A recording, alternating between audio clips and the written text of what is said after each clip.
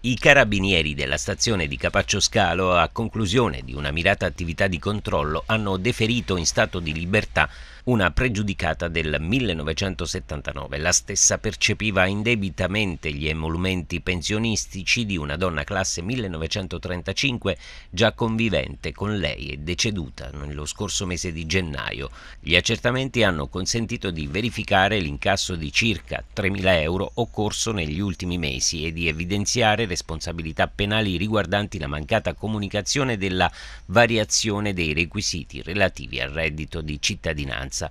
La donna percepiva illecitamente anche quest'ultimo, nonostante fosse già sottoposta alla detenzione domiciliare per scontare la pena di una condanna relativa a una rapina del 2013.